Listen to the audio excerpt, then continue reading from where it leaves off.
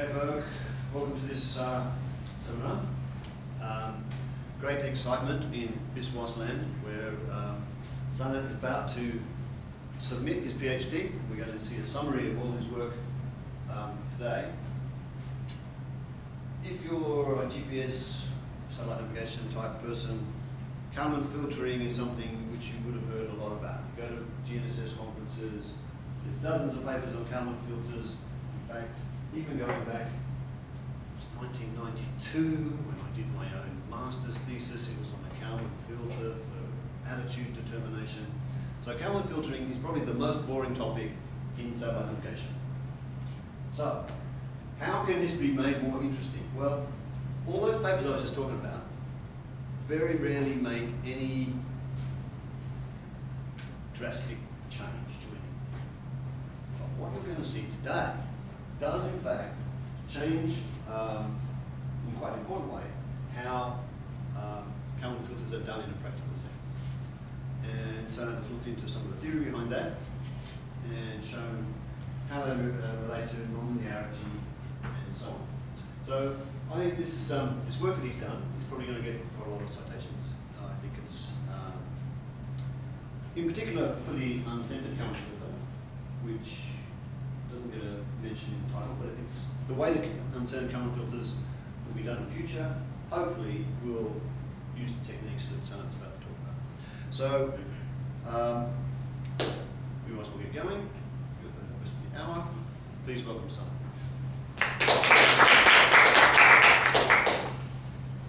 Thank you all. Thank you very much for coming. Um, I will just dim the light a little bit so that it's much more clear. All right. Dimming the lights for the Kalman filter presentation. Very risky. Who'll be awake in 15 minutes? So yes, so for the last three and a half years, I have been working on Kalman filter, nonlinearity, and their application is spatial navigation. So I'm really glad to share the some interesting findings of this research today with you. So let's jump into the contribution of, of my work. So what I did was that I developed two new fast unscented Kalman fil filters, which are computationally much more efficient than conventional unscented Kalman filter. Then, so we uh, so we applied these two uh, unscented Kalman filters and found that they reduce the processing time. But what is the theor theoretical basis of this? So it's only one application we found. So we did the theoretical analysis and showed that the computation uh, time has a bit of limitations. So how much computation time can, can be improved that has a bit of limitation, which we'll discuss later on. And then we established the relation between the nonlinearity and the unscented Kalman filter performance. So unscented Kalman filter, uh, till now, people uh, or in our community, the notion is that if system is uh, mildly nonlinear, EKF can do. But uh, if it's highly nonlinear, we can replace EKF with UKF. But the major question is how nonlinear is highly nonlinear? What is high and what is low? That quantification has not been done, and this quantification, you, uh, the, you, what is the relation between this quantified notion of nonlinearity with Kalman performance? That was not done before. So this relation I tried to establish here. And then finally, we found that the, the filter performance where, uh, depends on the dimension of precision of G, uh, GPS measurement. So that theory I'll present at last. So the outline of the research, how I ended up working on Kalman filter. So I, uh, when I started my PhD, I started with uh, implementation of EKF and UKF in low Earth satellite orbit navigation problem. So after the uh, implementation, we found that unscented Kalman filter is takes a lot of computational time in EKF, and there is not much improvement. So the questions are then, so always unscented Kalman filter has been presented in such a way that if you have a nonlinear estimation problem, unscented Kalman filter will, will give you a very good accurate result. So, but our application uh, say uh, showed exactly opposite of that. So both are EKF and UKF giving the same performance. Why? That's one question. Another question is how do we reduce the competition time of UKF? So I, I took these questions and tried to answer that how, how do we deal with it.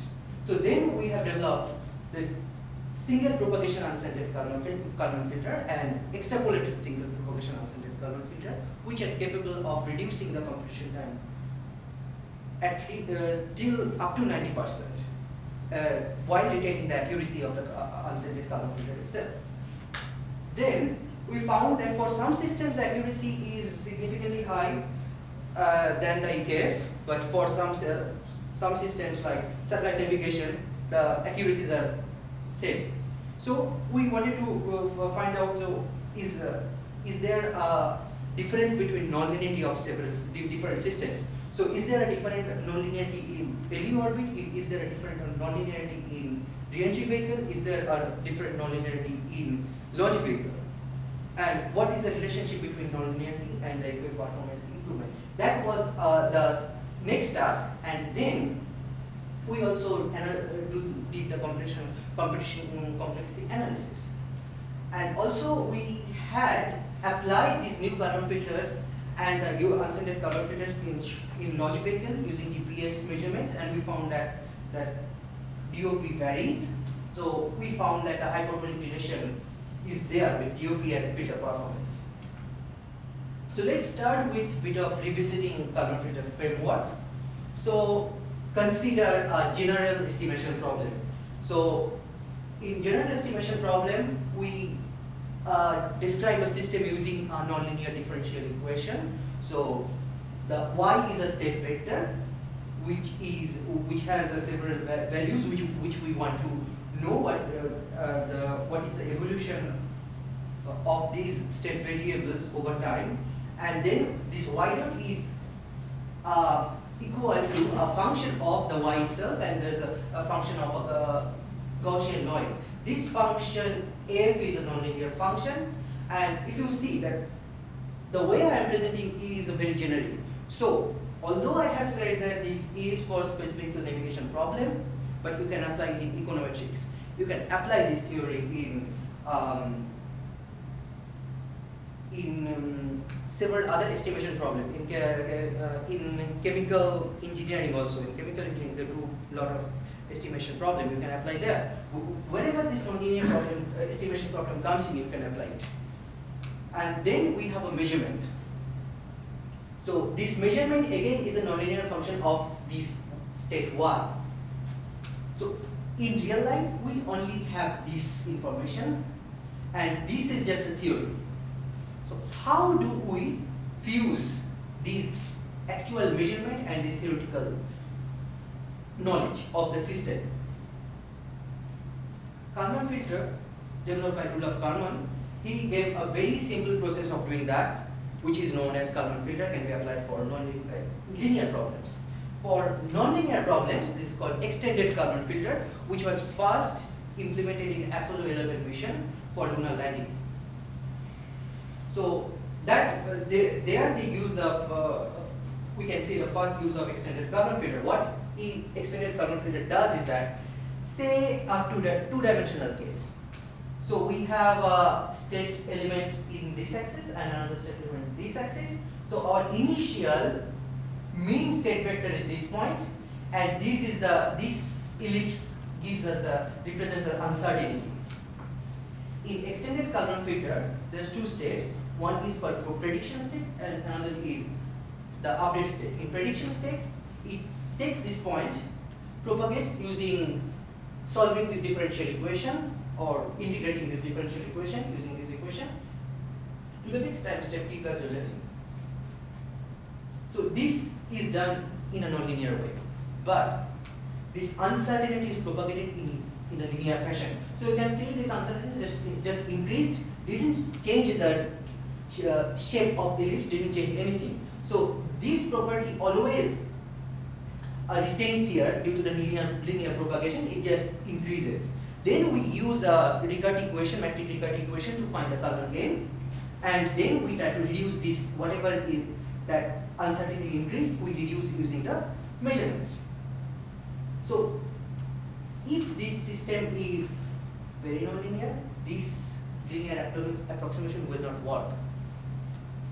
For that kind of applications comes the unscented Kalman filter developed in 2000s by Julier Uhlmann and also there is Australian touch in unscented Kalman filter. So if you have heard about Durrant-Whyte, is a very famous uh, scientist in robotics. Um, he was also involved in development of this unscented Kalman filter. So what unscented Kalman filter does is that, unlike EKF, in EKF there is only one uh, state vector propagation. You have this mean, here it is propagated, but also there are several other strategically fixed points based on the uncertainty.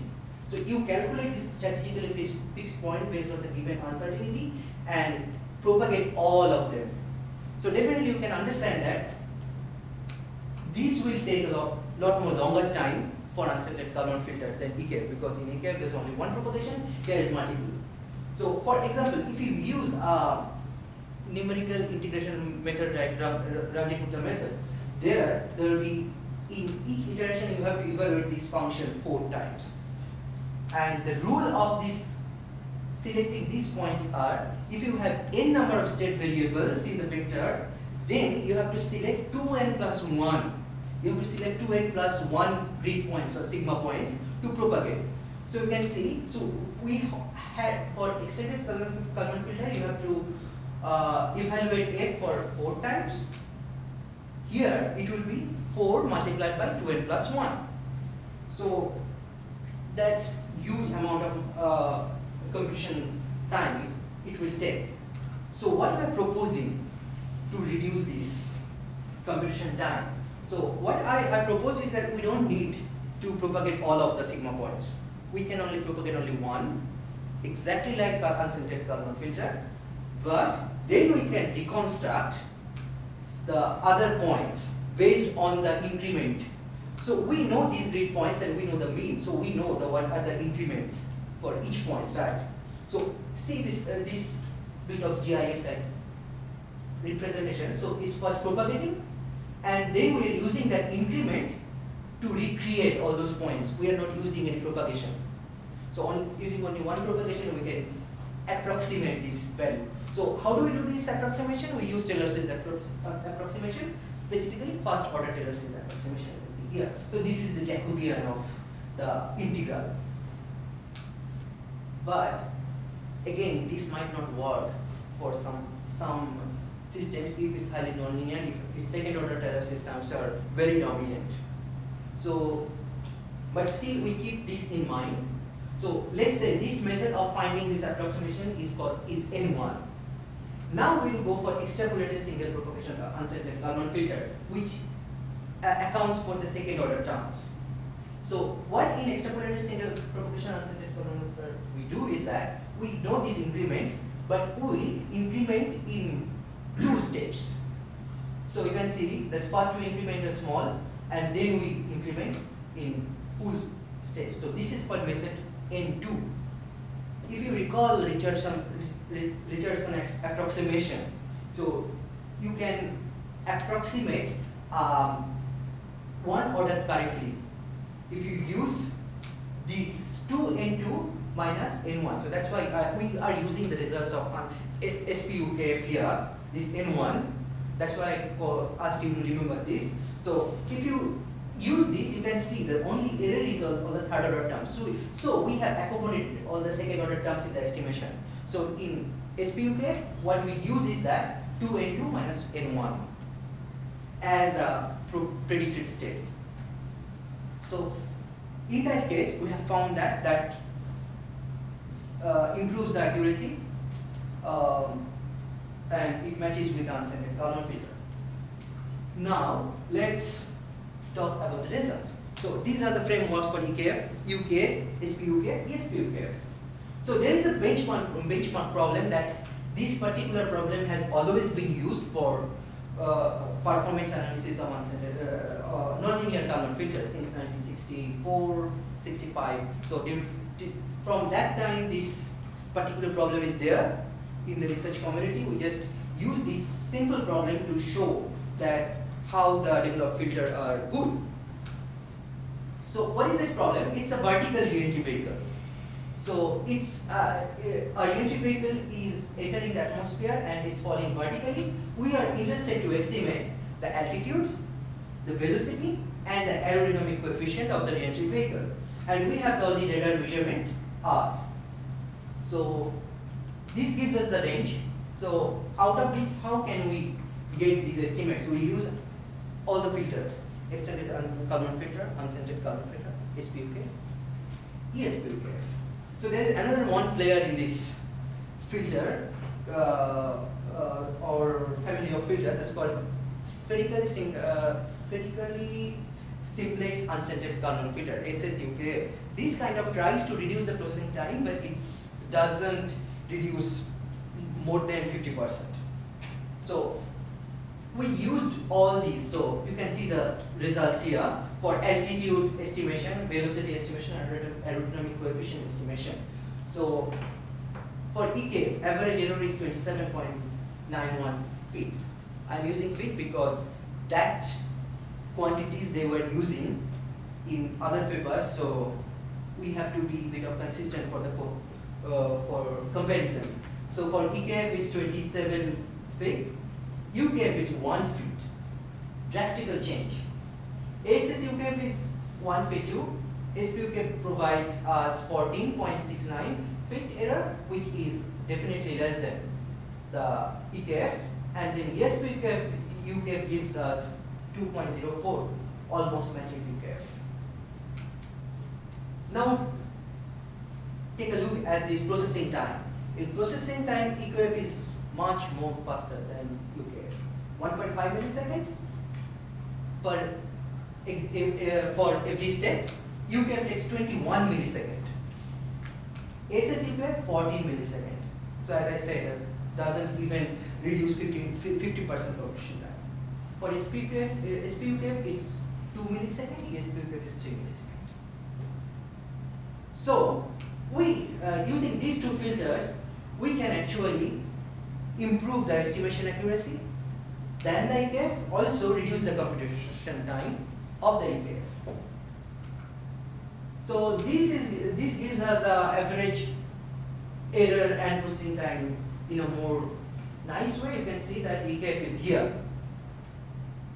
Bad accuracy, good processing time. Here, good accuracy, bad processing time.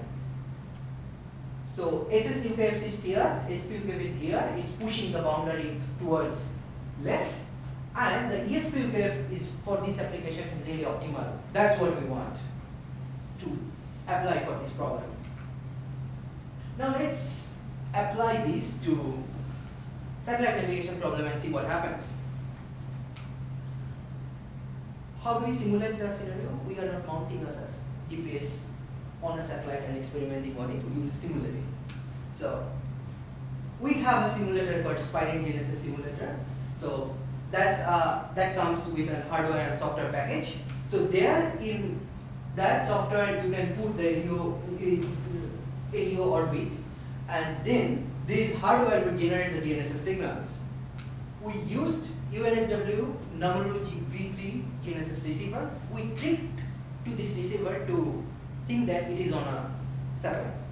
So the, GP, uh, the receiver thinks that, that it is on a satellite and it gets the relevant signals as if it is in orbit. So we get the GNSS measurement, we get the GNSS satellite position and use estimation algorithms and we have the reference orbit, we, uh, we compare the reference orbit and compare the uh, output of the estimation algorithm to see how much error there. You can see all the average errors are almost same. All the average errors are almost same, but look at the processing time, that is actually tallies with what we have claimed. So the big question is why this is behaving like this? Why this for LEO satellite navigation, the filters are behaving in the same way but note that this, this problem is also nonlinear. This problem is also nonlinear, but the filters are not, UKFs are not working as it's, uh, these were supposed to. So that's a big question. Let's go to launch vehicle trajectory estimation. So again we take the, this time we are using here GPS receiver. So this ERD phase receiver is optimized for very high acceleration, uh, acceleration. So during very high acceleration of launch vehicle, it can capture, lock the signals, GPS signals here. We treat this receiver that it is in a launch vehicle, and then again we got the uh, the measurement, and we got uh, uh, we got the reference orbit, reference trajectory, and then we use the estimation algorithm to estimate the trajectory and compare. What we are interested on esti estimating launch vehicles. So we are interested in estimating the altitude, interested in estimating the downrange range distance from the launching point. We want to know the velocity towards the direction of this uh, launch vehicle motion. We also want to know what is the flight path angle the angle between the body axis and the local horizon. So with that, we also want to know what is the aerodynamic coefficient. It's there, but we want to estimate this. Uh, so that was uh, that's how we uh, modeled the system. And then what we found was that we applied all the filters, EKF, SPUKF, ESPUKF, EKF. So we are not considering SP, uh, SSUKF at all because that actually is not very important we, here. So you can see that again extended Kalman filter output uh, accuracy is always bad. Then SPUK, then ESPUK and UKF. So what we did was that we done the experiments and did some Monte Carlo simulation. So for number of observations 4, number of observations 6, 8 and 10. So for all the conditions, you can see that it follows the previous re-entry vehicle pattern. So you can see that EKF is always uh, have a good uh, good processing time but bad accuracy. UKF has good accuracy but bad processing time, and EKF, uh, SPUKF and ESPUKF are giving the desired very good um, good trade-off between accuracy and the processing time. Also notice that the dilution of precision, with dilution of precision the error varies. So this is an interesting observation, the error ratio by, with the error ratio which is the error divided by dilution of precision multiplied by um, noise of the measurement, that is changing with different number of satellites and if you use this for estimation that is not supposed to happen.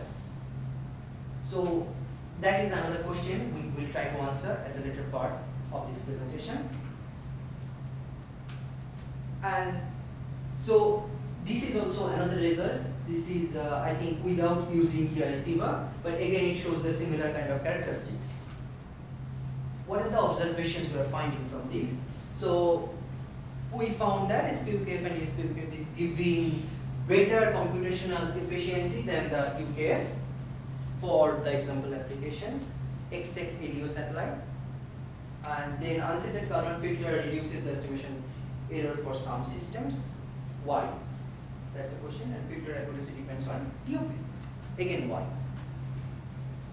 So then we try to answer this. Does how does these computation time is affected. So there we found that the computation time uh, improvement of SPUKF and ESPUKF depends on three things. One is the number of state variables in your step vector, then integration step size, what you are choosing, and also the complexity of your system. So you, based on these parameters, your computation time uh, efficiency improvement would change.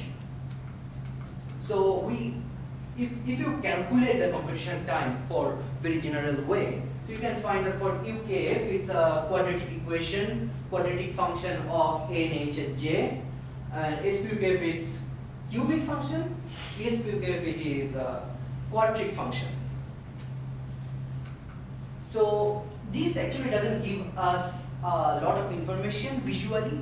So we try to put make a better visualization to see what is actually happening with variation of number of where number of state variables with variation of step size, integration step size, and with variation of the computational complexity or of the system itself. What you find is that if the step size is lower, the integration step size is lower, in that case, if you keep on increasing the number of steps, the efficiency increases till certain point and then starts decreasing. And then if you keep on increasing the um, um, integration step size, you can find that this rate of decreasing in this part actually reduces.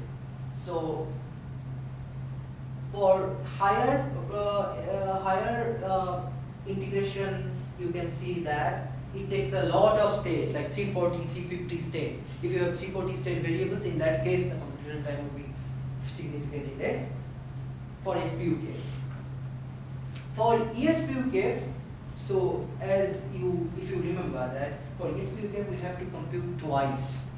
That's why obviously computation time would be less than SPUK. Uh, if it, improvement would be less than SPUK and also it changes very drastically with state elements. So you can see that at around 10, uh, uh, 20 to 30 number of state elements, the computation time would be almost similar to UKF. So, on, so if we have a system with 20 or 30 elements, in that case actually these new filters will not be of use. But if you have some state element somewhere, 3 or 4 or 5 or 6, in that case it has a very high efficiency. So most of the real-time application in satellites or, or uh, more generally for space vehicles, you don't have really more than 15, 15 states. So for those applications, these are really uh, good choice of filter. Now, so that answers that, uh, under what uh, conditions these uh, filters will give us a very good estimation performance and what are the limitations.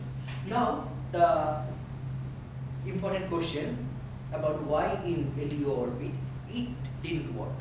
Why in LEO orbit all the filters have the same characteristics. So we hypothesize that there's a relation between the degree of nonlinearity of a system and measurement with the UKF and EKF performance. So we call, let us define a term called relative UKF performance. Relative UKF performance is a difference between the UKF accuracy and UKF accuracy divided by the UKF accuracy. So that's a relative UKF performance improvement. If it is high, then high performance. If it is low, then their performance is more or less similar. So as I have previously told that there is no rigorous mathematical relation between the nonlinearity and relative UKF performance. So we have tried to establish that mathematical framework. So we already have a bit of how to measure nonlinearity. That's called a Jernquist nonlinearity index in 2000. Um, or this, this term has been coined in 1999, almost, almost at that time. In 2009, it was established. But this is uh, this this nonlinearity index measure was used in control problems. Control problems, not in estimation problem. They were uh, they were say uh, they were uh, publishing in in some papers that yes we have we know that if nonlinearity in, index increases, UKF uh, can give a better performance. But how the what is the relation? Can we predict the performance of improvement by the UKF using uh, using the nonlinearity. So if we already have known the nonlinearity index, then we don't want to Im implement any filter. We want to know whether it, the UKF will give us better or not. And that way a designer can choose properly in a, without using a trial and error method like us. So I, I started for uh, uh, imp implementing UKF in satellite navigation problem, hoping that that would improve the nonlinear, uh, improve the efficiency, uh, but it didn't. So we we don't want to we don't want that some other people should run into that problem. So that's why we try to answer that is there any relation If you have a relation, then you don't have to implement anything. You, you can use this relation and just say, okay, we use EKF or we use EKF. So what does this nonlinearity index, uh, what is the definition of nonlinearity index?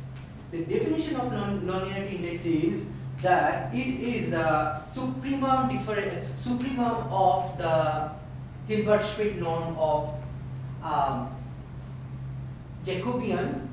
Uh, this Jacobian is a variation, and this is the true Jacobian divided by the by the true Jacobian Hilbert-Schmidt norm. So it, will, it, has to be the supremum one. So what basically what what does it say? It's too much mathematical term. Ha, Hilbert-Schmidt norm, Jacobian. What does it basically say? It says actually that that what is the normalized rate of change if you uh, change the initial state a little bit. That's what it says in a scalar form. So let's see, let's say we have a set vector here and this is the maximum uncertainty possible. So this is called the worst case ellipsoid boundary.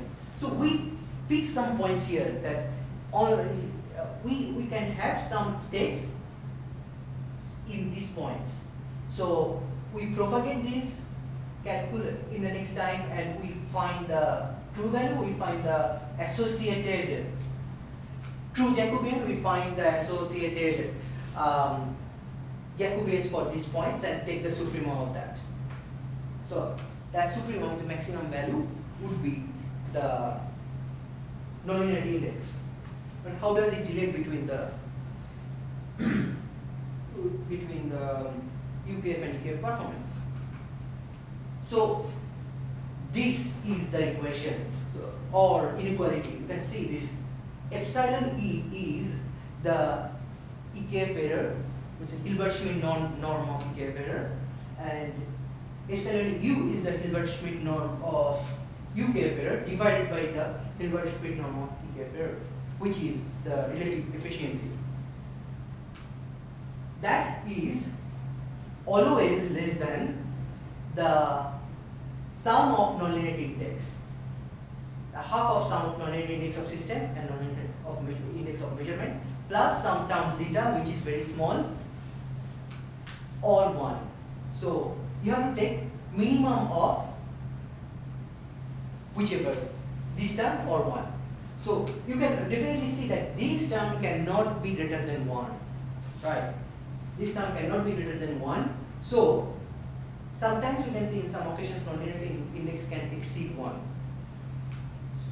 Then there will be a bit of contradiction. To, to avoid this contradiction, we have to take this minimum of this term and 1, whichever is minimum. And this relative efficiency will not exceed this limit.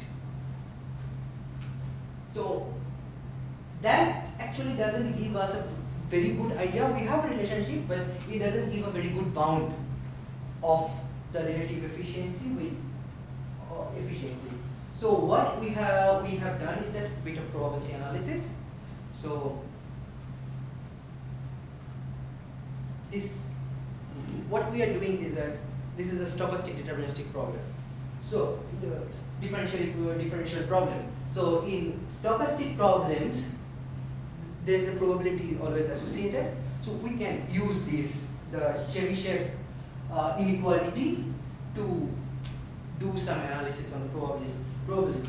So let us, for this, uh, for for better understanding, let us shorten this down. So let's uh, uh, gamma is that relative efficiency, and lambda is that minimum of nonlinearity index sum or one. So if we use what Chebyshev's inequality tells us, Chebyshev's inequality tells us that the what is the maximum pro possible probability that the this uh, variable lambda will be greater than b. So the original equation is that here instead of lambda square it should be expected value of uh, expected value of gamma square. But we can see that from here that all the values has to be less than this term. So obviously, we can replace this expected value of lambda, uh, lambda with expected value of gamma with lambda square, right? So we have this bound. Also, there is another two-sided bound we can provide that what is the maximum uh, or what is the minimum probability that the value of gamma will be within the within a range of A and B. So this gives us a maximum probability bound. Or sorry, a minimum probability bound. But this equation is much more important, but we have two terms, unknown terms, A and B. We know lambda, we know gamma, but A and B are unknown. So we have to use this equation of uh, inequality, inequality also um, to find out uh, definitive values of A and B. So what we uh, so if you notice that these actually forms a conic section, these also forms a conic section. We will uh, we will take the points at the intersection of these two conic sections and find out A and B because two equations, two unknown gives us obviously two. One equation, two unknown will not give you a single solution, right? So if we use equate these terms and finally we can find that the bound of gamma is like this. So what is this p term? P is the range of the actual probability of gamma. So gamma will be in this in this range and you can find this range, this upper bound and this lower bound are actually proportional to the nonlinearity. So it's a bit of uh, irony you can say. So these bounds are linear with, with the nonlinearity index. So, uh, oh, what these conic sections actually mean here. So let, let us consider a nonlinearity index of 0.4 and 0.8. For 0.4 and 0.8, this is the gives us the conic section which gives the lower bound lower bound and this one gives us the upper bound. So here you can say at 0.8 these values are coinciding. So this is bit of geometric idea of what we were doing. And if we say, now we want to examine what is the probability or, or, or we have to examine that the, what is the range of lambda with probability more than 0.8. So more than 0.8 is sufficient for our estimation, right? So we are now bounding the probability within 0.8 to 1, very small range. And what is the probability that, uh, what is the range of lambda in that particular probability range? So that has a linear relation. So you can see that this is the nonlinearity index axis, this is the improvement, performance improvement axis. So lower non nonlinearity, the improvement improvement uh, in this region is always high. So you can expect that if you have a one nonlinear, nonlinear problem, your performance improvement will not be very good. If you go up towards this axis, you can find that there is higher probability that you have a very good no, uh, performance improvement by UKF. So, so now we have a tool. Now we have a tool. If we know the nonlinearity, if we want to calculate what is the probability, 80% probability that uh, UKF performance or performance range will be in some uh, some within some values. So using the nonlinearity, we can now say that okay. So for lower nonlinearity, the range will be very small. At higher nonlinearity, you have a very good improvement you can expect. So the verification of these two formulation. One was I was talking about that that, that um, this equation here. So these values will not never exceed these so this is the value of the bound and this is the actual error, Hilbert-Schmidt relative efficiency error. You can see that this is always below, below that bound. This is for re-entry vehicle problem. For launch vehicle problem, this is the bound and this is the error. well, you will say, okay, this is now going up. There's something wrong here. What's wrong? The problem was that for you, uh, the, the Namuru receiver, at certain after a certain amount of time, the clock resets in receiver clock, and in that time it has a bit of spurious measurements. So that's why. So these are really unrelated with the estimation problem. But what is happening here? So there is an assumption of deriving the relation between nonlinearity and performance, uh, performance. So assumption is that that performance will only hold when the filters are in steady state. So here this filter is in transient state because we are starting at zero. And when it goes in steady state, it follows a bound. The same thing happens for launch vehicle problem. We can say it's within the bound. And now we already have that probability bound. So what is the bound of the improvement with probability 0.8?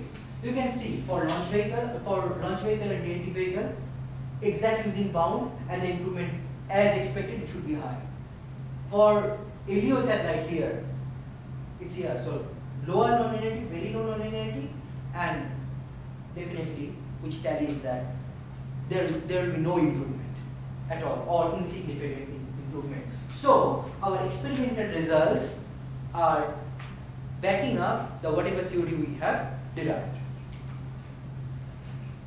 So then uh, we, uh, we have a mean, we have a mathematical framework to compute the nonlinearity index and based on that we can say, okay, for this system UKF will not be useful, for this system UKF will be useful. So this is very a good aid for designers now. So for uh, suppose for a designer somebody comes and say okay for this system you design me estimation algorithm. They don't have to simulate the whole estimation whole scenario for EKF for UKF and say oh no we, we have to use UK or we have to use EKF. You can without doing any simulation using simple mathematical computation you can do that. Now as we have already said that with dilution, uh, with number of satellites, the error ratio changes, which is not, um, which doesn't match with the conventional notion of dilution of precision. So, what is the dilution of pre precision? GPS provides us a range measurements, and if you take the Jacobians of the, all the range range uh, measurement vector, so all the uh, range at particular time is stacked in particular vector in Jacobian, and there's a matrix called G which is the measurement Jacobian transpose multiplied by the measurement Jacobian inverse. So diagonal elements of G matrix gives us the dilution of precision. And so obviously it will be 4 because for satellite uh, for uh, GPS based estimation we need three uh, uh, position. So x y z 3 and time 4 time inverse 4 so G4 is for for the time and G11, G22, G33 are for positions. So if you use this square, with PDOP your error should increase. Increased PDOP, increased error, which is very linear equation. But here you can see that this is not following. Why is that for Kalman filter? What we found is that the relationship with Kalman filter, in Kalman filter frame, framework, relationship of accuracy and the DOP is not linear. It's a hyperbolic relation. So you can see the sigma is sigma x, sigma y, sigma z. These are the uh, uncertainty in x, y, z axis estimated by uh, any Kalman filter and D1, D2, D3 are actually G11, g2, 2, g3, 3. So you can see there's a hyperbolic relation because D square is a, or say you can say it's a quadratic relation, but for sigma square is hyperbolic. The same thing for UKF. The relation is bit complex, but you can see that the form of this relation, G is a quad, uh, matrix quadratic equation. So obviously it will result in a hyperbolic equation. So what we did was, was that we start again did the experimentation with launch vehicle and satellite and DNT, not DNT, because in, during DNT you can't get GPS signal at certain point. So for these scenarios you have done, so you can see that we have plotted the position error by sigma r square versus PDOP, hyperbolic. For radio satellite, all are hyperbolic, but the difference is that here there is a separation between all the filters. Here it's almost same. That is the consequence of nonlinearity. As the, all the filters will act as a in a similar fashion, obviously there will be no separation in these curves. So that there we have so we have found the relation between the um, if error and the PDOP for different filters. So it is nonlinear. We have now mean to measure or express it in a way. So now the conclusion. So again I'll repeat the first slide that what are the contributions. So we have presented you two computationally efficient unscented Kalman filters. So we have done the um, computation time analysis theoretically to show that what are the limitations of this filter in terms of processing time. And then we have established, which is very important, we established the nonlinear relationship between nonlinearity and unscented Kalman filter. Uh, performance improvement relative to EKF, and then we have characterized the com computation, uh, the uh, Kalman filter efficiency with DOP. So these are the contributions of my PhD research and future work. So what we are going to do next. So now we can see that filter performance depends on two factors. One is for GNSS application, one is nonlinearity, one is DOP. You can use these two properties to switch between different filters in real time and to get a very optimal uh, resource management management. So you can lay out that. So we are, we are will we will be working on this particular type of switch mode Kalman filter soon. Then can we include the particle filter in this framework? So answer is yes we can. We can improve the particle filter efficiency using the extrapolated single propagation technique. And we have done a bit of work. I'll show you this interesting work soon. And then the and we use SPUKF and ESPUKF for high Earth orbit navigation? Because in high Earth orbit, definitely, if it's not circular, most of the time it will be highly eccentric, and highly eccentric means highly non And we want to see uh, what is the performance of these filters in this navigation problem. And then uh, application of the extrapolated single propagation technique in other areas than estimation algorithm. So this is a, a bit of off topic, but uh, I am pretty much able to uh, discuss this. So this multi-body dynamics is that suppose your spacecraft is going in a multi-body system. Suppose your spacecraft is going to Jupiter or Saturn and there are multi multiple moons. There Newton's simple Newton's second uh, Newton's gravitational law of two body problem will not work. Now there's three body problem, entirely different scenario. It's hard to compute the trajectory, what is going on, uh, where the spacecraft will be. So in the, those missions, you have to do lot of simulations. You have to do take lot of um, lot of initial conditions and propagate them one by one or at, a, at the same time propagate them to find out what is the optimal trajectory. So you can use the extrapolated single propagation technique there to reduce the computation time for optimization process. And also you can use this nonlinearity index to predict what is the final uncertainty of the spacecraft position without using any estimation algorithm that you can do. That's a hypothesis, but I hope that would work out soon. And then particle filter. So particle filter is different than other Kalman filters. In uh, Kalman filters, EKF, UKF, SPUKF, you, you, in the update stage, you have to use matrix Riccati equation, you have to use Kalman gain, but in particle filter, you don't need that. In particle filter, what you have is that Suppose you have a mean and you have a uncertainty.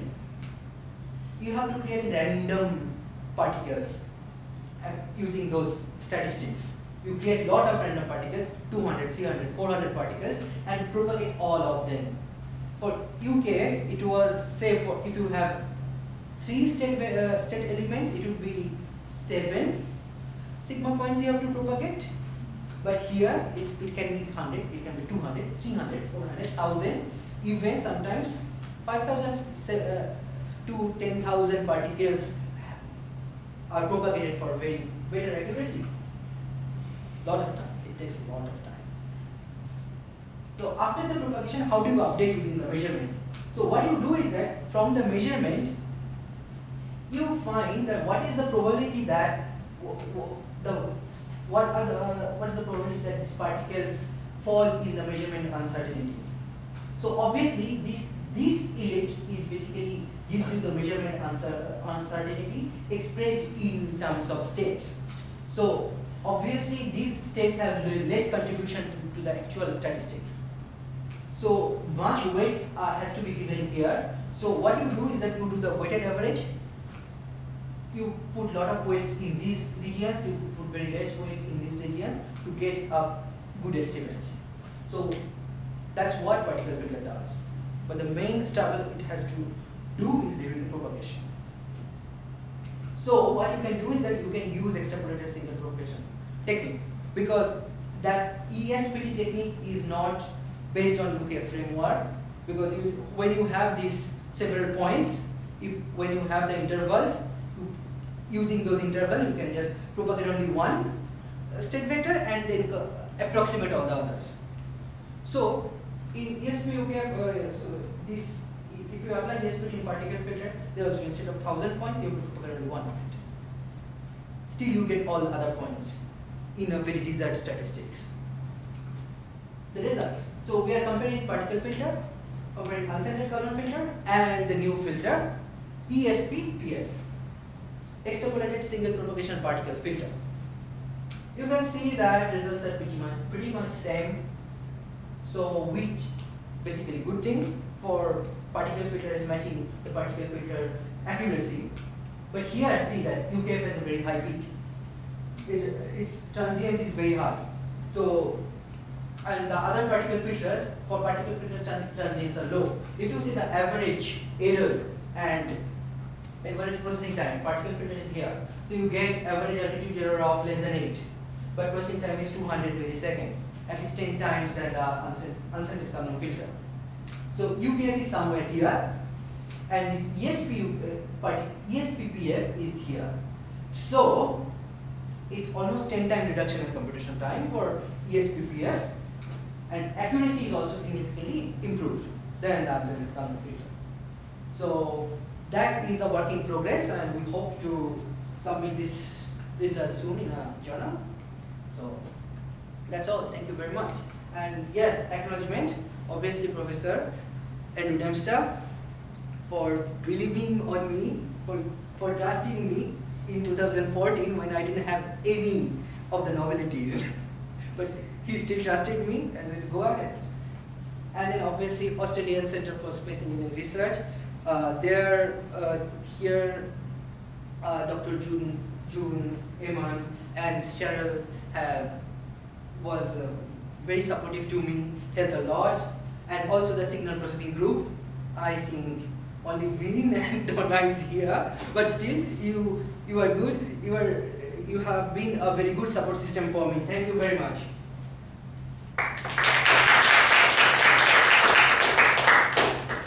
And obviously, if you have any questions,